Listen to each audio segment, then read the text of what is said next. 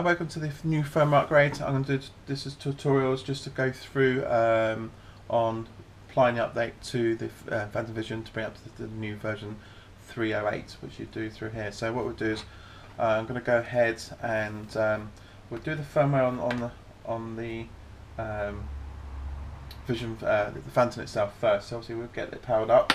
So let's just get that prepared. So take the off, loosen it off. Always, when I power my Phantom up, um, always make sure I take the camera gimbal stuff off so it's loose because obviously this is going to want to do it so I can reset. So push and button once, press and hold, powers it up. There you go. And uh, there you go, camera's all set, so that's nice and easy. Cool.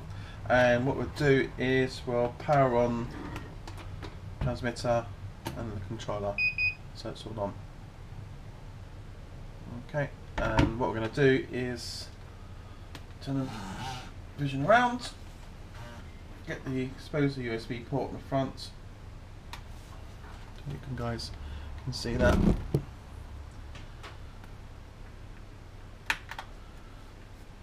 Uh, plug her in. Okay, I'm just going to move that out of the way so I can get that. Because in a minute I'm going to switch, I'll plug that into my USB port on my Mac. Like so. And now I'm just going to go and switch to the software and we'll run through the software on the screen. I'm on my desktop now, so uh, here's my, my actual Mac desktop. So we load up the uh, Phantom 2 software. Um, so we can apply the new firmware upgrade. So it's, it's, it's easy, it's quite as easy as this. So this is the software. I'm just going to change my camera's position on my so we can record what the camera's actually doing. So as you can see, it's actually um, yeah. Go. So I just bring up the controller software. So it's obviously changed differently. Um, so we are uh, new new firmware. So because Detective's got a new firmware here. So three um, my current version is 3.06 and we're going to upgrade the main controller to 3.08. It's also running some through some features here that actually shows you what what the changes are. So if I expand this window a little bit more open, no, it doesn't. So we can get see there. So maximum area, uh, operation area based on the remaining battery power and current settings can now be displayed on the ground station map. Uh, this area expands or, or contracts when the waypoint set areas are set. What else we got? Uh, there you go, that's the new controller gimbal we was, was talking about, battery indicator, new gimbal controller, so I'm, I'm actually going to get my hands on this. It's about, I think it's about £80, about, about roughly about £80. So um, I get paid very soon, so I'm going to actually order, treat myself to one of those, and we can then do uh, a, a tutorial on that. But that looks quite cool. Battery light indicator, as you say, it looks exactly the same as your normal one, slightly different shading, looks a bit more rounded but very looks very similar this, this, the original controller, but also additional gimbal con uh, controller, battery light indicator, so LiPo battery charge. But nice to actually had to add some more pre-programmable buttons on the top here that you can actually set up and um, use. And here's the new um, blades and new motors you can get, new propulsion system they call it. So obviously it comes with an ESC module, new motors and blades, which is a good thing as well.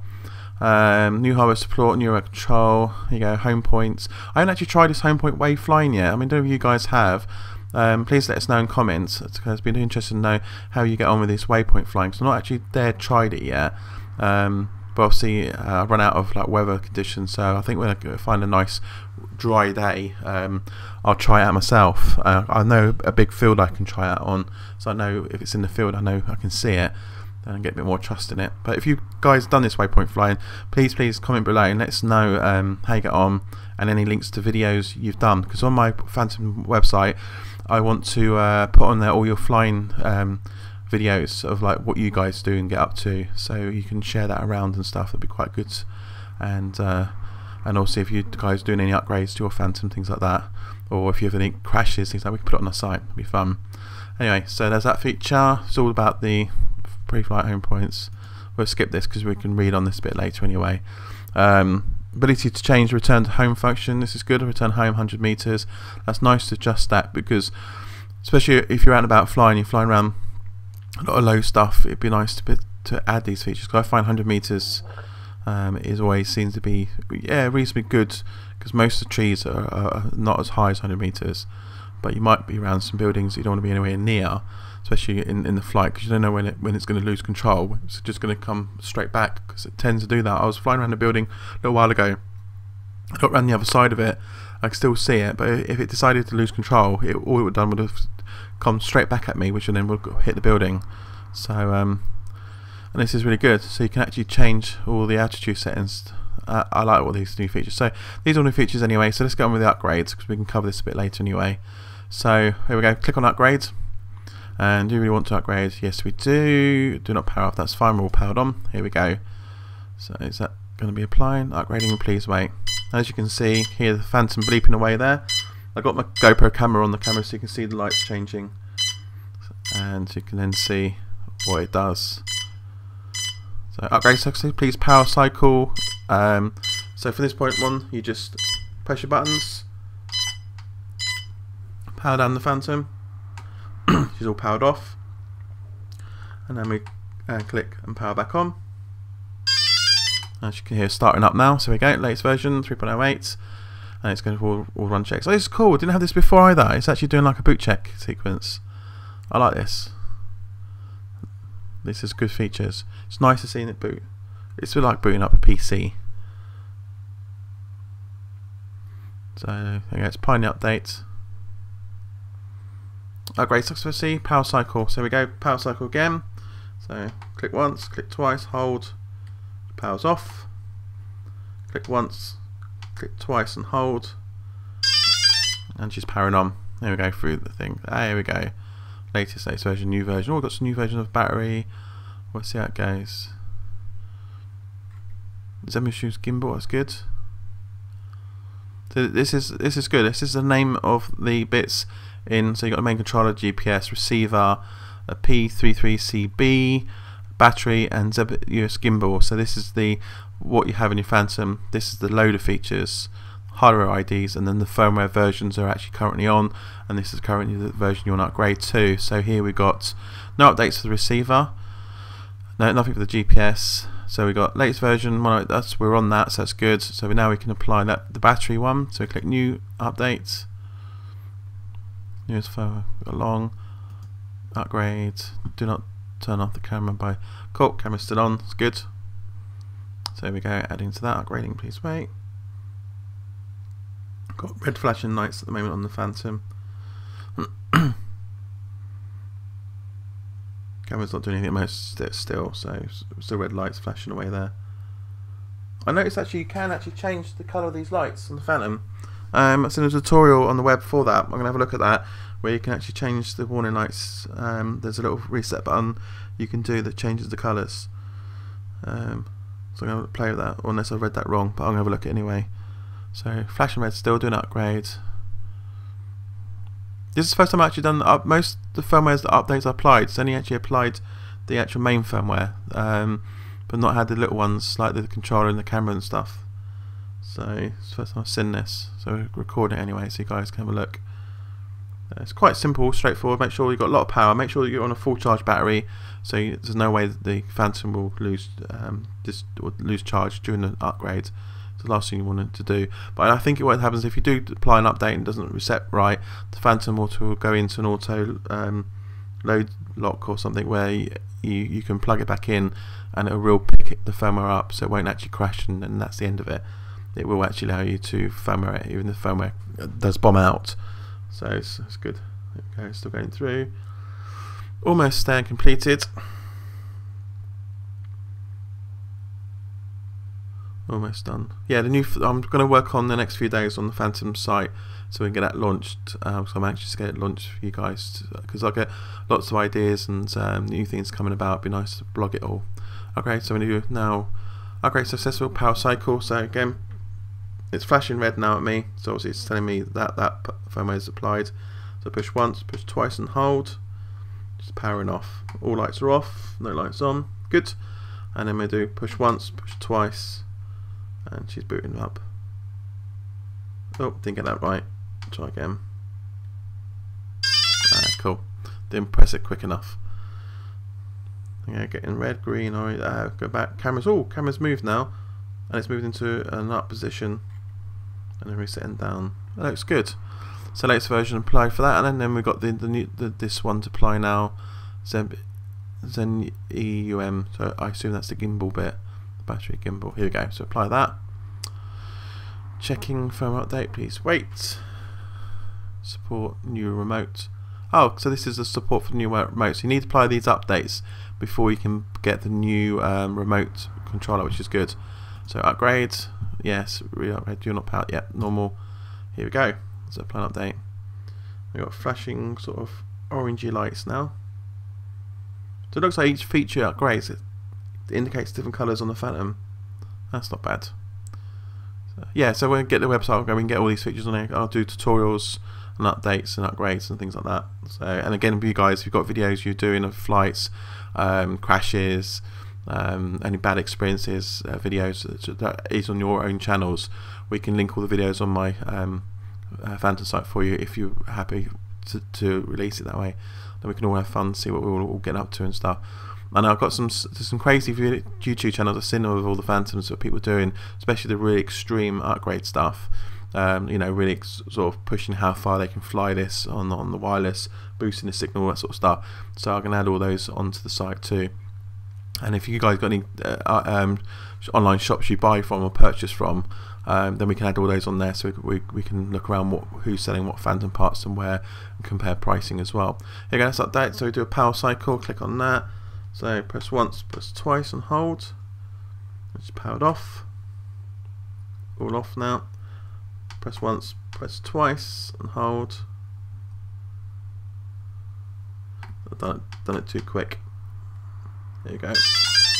Red light on, going green. Okay. Okay, so all latest versions. So here now, all the current version 3.08, 1.0.27, 2.6.00, 1.0008. Brilliant. So that's all done. That's the that's the actual main controller. So on here, a quick view overview. Cause I don't really play about with any of these settings here because I very very much find the basic settings out of the box seems to work quite well for me. But you guys might have different experiences and you may have played about with this. But I find this very much um, all I need. so I'm happy um, as is. So let's have a look on here. Got quad rotor X type basics. So see this takes as you say I'm doing like a um, an actual build um, on the, the um, DJI. So the, this module here is the same one you can buy for other quads because this one's upgradable not just for the quads it's also for hexaquads as well. It's quite quite nice uh, fl flight gear they got. But I'll be using the red one which is uh, the, the next version for this one. RC controllers here we go. Flight normal flight safe. So you got lots you got lots of new buttons here. You can turn them and change um, calibration there you go yeah it's all working uh, check that out. Yeah, they're all normal. Gain control, pitches, advance. Again, all this sort of stuff I don't really sort of play with because it, it's it's good as um, out the box as, as, as, I want it to be. I think if I mess about too much, I don't want it sort of end up crashing on us and, and not coming back. So gim, uh, gimbal. Oh, this is all new. I don't remember being a gimbal in this before. FPV mode. Seeing full. I know you can do that through the software now and stuff. But here, yeah, this is good. You can get the gimbal to change tilt. So if we move, what if we move this about? Tilt control gain. No, it doesn't actually make it move live. So will that apply? But again, we'll have to cover these features in a more in-depth and play about. This is the um, flight maximum flight height is 500 meters, uh, 1,500 meters radius. I don't think the, the CAA rules are actually this, so you might want to change that to match the, the CAA rules. Um, but this might be because I'm actually this feet. Yeah, this might be because on I find on the back of my Phantom controller has a, a two has an um, EC and something else that allows you to change your radio uh, distance on your radio. It's a little switch that when you flick over. I found the UK one it got up to a certain height. I think it was going way below 400 feet, and it, it kept dropping out all the time, kept losing, so it kept returning back. Then I flicked the little dial on the back of the controller. You have to use a sort of long screwdriver for it, and it put it into. I think it was. I think it was set to ECC or E something, um, twisted around to, which gave me a, a much more a longer um, distance. Um, and I never then it didn't actually drop out, so it's quite a good feature. So tools, reset, no, upgrade, info, okay. I'm happy with that, so that's that. Um, what I'm going to now do is I'm just going to take the USB out of the Phantom itself and put it in the bottom of the controller that I've got as well to see if there's any updates required for that. And then that's the remote, the other app we need to load up. Info, latest version 1.22, yeah, that is, it's, it's all good. So this is the remote controller um, part. There we can there's, there's test all the calibrations, the mode sticks. Ah, this is this is this is it. This is the this is what it's set to. I think when you get it out of the box, and I flicked it over to because it shows on the back now um, how to change change it over. Okay, so I had it on the FCC, which is out the box. Um, so I found the, the radio signal was quite weak and it kept dropping out. Then I changed it over to that, the CE, which gave me much more longer distance and I don't seem to have any dropouts on the radio. So if you're having dropouts when you're going up in the air and you're still quite close, you're not even more than 100 feet or more, then try changing that feature on your controller and you'll probably find it improves your signal and you don't get dropouts. That's what I found anyway, but everyone's different. I have a different, you know, might be just my controller being funny or something like that. But there you go. So that's it. So that's the upgrades on this. So um, hope you enjoyed that anyway. So please do comment below. So any questions and answers. Um, we can go into the software a bit more a later date on uh, checking it because I might look look at fine tuning my flight and altitude and uh, especially the return home feature because uh, I don't like the idea of changing every two seconds. It'd be nice if, if the software allowed me to control that. So I'll do some tests and wait for I got a bit better, better weather, and we'll, we'll go over this software. We'll do some uh, checks and some live flights and see how the performance works. Well, have fun anyway. Remember, please comment, please subscribe if you want to get into win that hexcopter that I'm building as well. Um, subscribe anyway because then you can still my updates and I'm going to try and get my hands on a lot of new stuff, new toys and gadgets we can use. Again, I'm buying a controller and on, on the new motors, so we'll do a tutorial on, on adding that on so it actually makes any more improvements to what it is uh, as it's now. So until then, right, have fun and see you in the next one.